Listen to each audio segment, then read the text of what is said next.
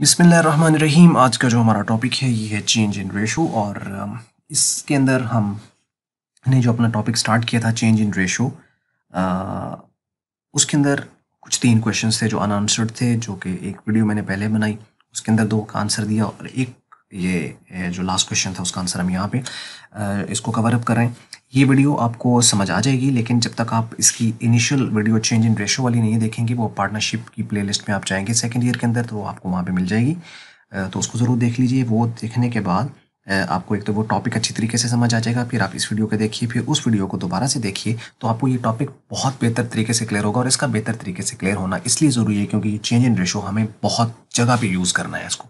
ठीक है? आइए हम इसके जो क्वेश्चन है उसको आंसर करने की कोशिश करते हैं। तो वहाँ हमने पॉइंट ये था एक कि जो गेनिंग जब चेंज इन रेशो होती है तो एक पार्टनर गेन करता है, दूसरा सेक्रीफाइस करता है। तो जो गेनिंग पार्टनर होता है, वो गुडविल में से कुछ प्रोपोर्शन सेक्रीफाइसिंग वाले को देता है। तो वहाँ पे माइंड में क्वेश्चन ये आता है कि गेन एक को हो रहा है तो गेन करने वाला सेक्रीफाइसिंग वाले को कंपनसेट किस फॉर्म में कर रहा है और क्यों कर रहा है? एक सवाल माइंड में कॉमनली आता है। तो वहाँ पे था कि this proportionate share is given by the gaining partner to the sacrificing partner एक पॉइंट था और क्वेश्चन था कि क्यों? तो दिस प्रोपोर्शन से मुराद है कि वो गुडविल का एक खास शेयर जो है वो गेनिंग पार्टनर सेक्रीफाइसिंग पार्टनर को देता है। तो वो जो प्रोपोर्शनेट शेयर वो गुडविल का दे रहा है गेनिंग पार्टनर सेक्रीफाइसिंग को, क्यों दे रहा है? क्यों? उसका सिंपल आंसर ये है चूँकि स्टेटमेंट वाइज है, आपको समझ नहीं आएगा, नीचे एग्ज़ाम्पल को हम करेंगे, तब आपको सही समझ आएगी। आंसर ये one partner would receive less profit in future from his own business simple is that कि एक पार्टनर है, वो अपने ही बिज़नेस में से, अपने किसी रीजन की वजह से कि उसकी हेल्थ प्रॉब्लम्स हो गई या उसकी इन्वेस्टमेंट कम है तो स्टार्ट तो उन्होंने, दोनों ने या तीनों ने मिलके किया था, उसमें ए की बी की सी की, अगर तीन थे तो सारों की एफर्ट्स शामिल थी। और उसके एस्टेब्लिश करने में उन्होंने सारों ने अपनी जान लगाई। लेकिन एंड पे अगर किसी की हेल्थ प्रॉब्लम्स हो जाती हैं, किसी एक का कोई प्रॉब्लम हो जाता है, कोई इशू हो जाता है तो उसका ये मतलब नहीं है कि फिर बाकी उसका बेनिफिट ले और वो जो हेल्थ प्रॉब्लम जिसकी हुई है वो जाए। हम्म? इस तरह नहीं होता है। तो उसकी एफर्ट्स शामिल हैं तो इसका मतलब ये है कि उसका कुछ गुडविल में हिस्सा बनता है।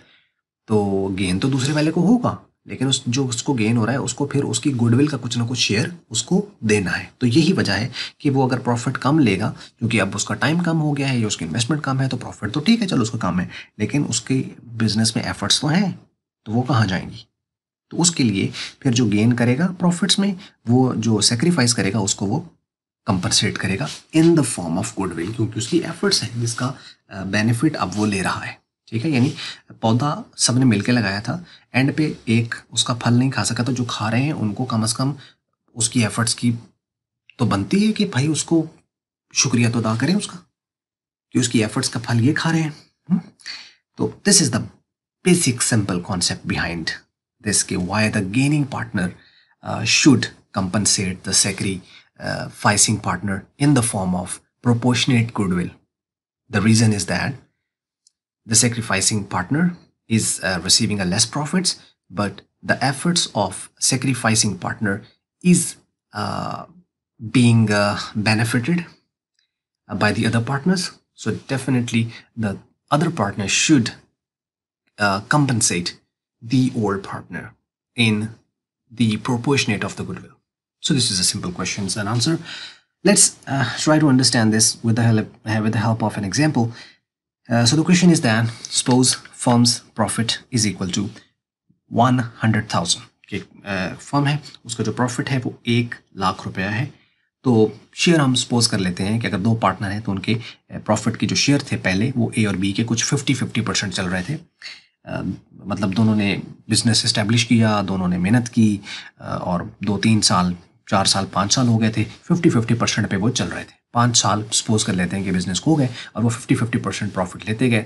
तो एक लाख बिज़नेस फॉर एग्जांपल समझने के लिए कि एक लाख बिज़नेस को प्रॉफिट हुआ तो उसमें फिफ्टी फिफ्टी परसेंट के हिसाब से पचास हज़ार एक को शेयर चला गया, पचास हज़ार एक को चला गया। अब आने वाले दिनों में ये पाँच साल बाद या कुछ सालों के बाद एक ही जो है वो कुछ हेल्थ प्रॉब्लम्स हो गए हेल्थ इशू उसके आ गए जिसकी वजह से उसका जो ए का जो बर्डन था, वो शिफ्ट हो गया बी पर। तो चूँकि बी अब ए का भी कुछ काम संभाल रहा है तो ऑब्वियसली उसको उसको पोर्शन ज़्यादा मिलना चाहिए ए को कम मिलना चाहिए, क्योंकि अब उसने टाइम कम दे रहा है। तो उसकी वजह से उन्होंने डिसाइड किया कि अब हम अपनी रेशो चेंज करते हैं। तो later on ratio was changed as अब उन ए और बी की रेशो हो जाती है। ए फोर्टी परसेंट पर आ गया और बी सिक्सटी परसेंट पर चला गया। ये बात यहाँ तक समझ आती है कि ए ने अपना टेन परसेंट जो है वो उसने कहा कि ठीक है, मैं अपना टेन परसेंट सेक्रीफाइस करता हूँ और वो टेन परसेंट मैं आपको देता हूँ। तो वो टेन परसेंट इसको मिला तो ये फिफ्टी परसेंट से सिक्सटी पे चला गया और ये फिफ्टी से फोर्टी परसेंट पे आ गया। मतलब ए ने सेक्रीफाइस किया टेन परसेंट और बी ने टेन परसेंट गेन किया। तो जितना इसका सेक्रीफाइस उतना उसका गेन तो रेशो उनकी जो नई रेशो है, वो फोर्टी और सिक्सटी परसेंट की आ गई है। तो यहाँ तक बात समझ लगी? ओके अब इसमें रेशो चेंज क्यों हुई? क्योंकि इसकी हेल्थ प्रॉब्लम्स हैं। तो इसका लोड ये शेयर कर रहा है तो मतलब इसका लोड शेयर करने की वजह से इसकी रेशो बढ़ गई है। इसको गेन हो रहा है और इसको सेक्रीफाइस हो रहा है। लेकिन अब जब प्रॉफिट होंगे, जो कि हम सपोज़ करते हैं कि अब चेंज इन रेशो होने के बाद इन पार्टनर्स को प्रॉफिट होता है और सपोज़ कर लेते हैं कि वो एक लाख रुपया होता है। तो अब प्लस मतलब जो नई रेशो आई है, उसके मुताबिक प्रॉफिट डिस्ट्रीब्यूट होगा। तो जब प्रॉफिट डिस्ट्रीब्यूट होगा तो इस तरीके से then the share of A is equal to forty thousand अब उसको ए को मिलेगा चालीस हज़ार and the share of the B would be sixty thousand और उसको मिलेगा साठ हज़ार। हम्म। तो मतलब कि हुआ कि अब ए को कम मिल रहे हैं और बी को ज़्यादा मिल रहे हैं। इसको दस हज़ार कम मिल रहा है, इसको दस हज़ार ज़्यादा मिल रहा है। ठीक है? अपनी रेशो के मुताबिक। तो ऐसा क्यों हुआ है? ऐसा इसलिए हुआ है कि ये एफर्ट ज़्यादा कर रहा है तो इसका मतलब है ठीक है, इसको मिलने चाहिए। लेकिन ये जो बिज़नेस हुआ है, जो ये प्रॉफिट जनरेट कर रहा है, इसमें क्या ए की एफर्ट्स शामिल नहीं है? ए की एफर्ट्स शामिल हैं।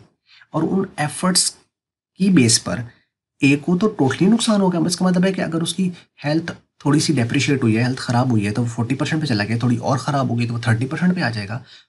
बिल्कुल नहीं करता तो वो ज़ीरो परसेंट पर आ जाएगा। तो उसकी यानी जो उसने शुरू में पाँच साल या सात साल या दस साल लगाए हैं इसका मतलब उसके तो वेस्ट हो गए वो तो गया फिर काम से। तो क्या ऐसा होना चाहिए ए के साथ? तो कॉमन माइंड से सोचा जाए तो आंसर ये मिलता है कि बिल्कुल ऐसा नहीं होना चाहिए। उसकी एफर्ट्स हैं जो उसने पाँच साल सात साल या दस साल उसने उसको जो आ, मतलब कि अपने बिज़नेस में इन्वेस्ट किया हुआ है तो उसको ऑब्वियसली उसका बेनिफिट मिलना चाहिए। और उसका बेनिफिट एक्चुअल में ले कौन रहा है? जिसकी हेल्थ बेटर है जो बिज़नेस को रन कर रहा है, वो बी है। तो इसका मतलब ये हुआ कि जो बी है, उसे उसकी एफर्ट्स का, जो वो उसकी रेपुटेशन या उसकी एफर्ट्स उसका फल बी खा रहा है। तो इसका मतलब बी को ए का शुक्रिया अदा करना चाहिए। और वो शुक्रिया किस फॉर्म में अदा करेगा? गुडविल की फॉर्म में। कि ए की गुडविल की वजह से बिज़नेस एक लाख अभी भी जनरेट कर रहा है, एक लाख से ज़्यादा जनरेट कर रहा है। यही अगर ए निकल जाए और बी को ये नया बिज़नेस स्टार्ट करना पड़े यही तो क्या वो इतना प्रॉफिट जनरेट कर पाएगा? पॉसिबली नहीं कर पाएगा, क्योंकि इस बिज़नेस के अंदर बहुत सारे और बेनिफिट्स हिडन बेनिफिट्स जुड़े हुए हैं। तो इसका मतलब है इसे कुछ कंपनसेट करना है। तो गेनिंग पार्टनर तो बी है प्रॉफिट तो इसको ज़्यादा मिल रहा है। लेकिन ये जो गेनिंग पार्टनर है, ये सेक्रीफाइसिंग पार्टनर को कंपनसेट करेगा, और वो कंपनसेट करेगा गुडविल की फॉर्म में।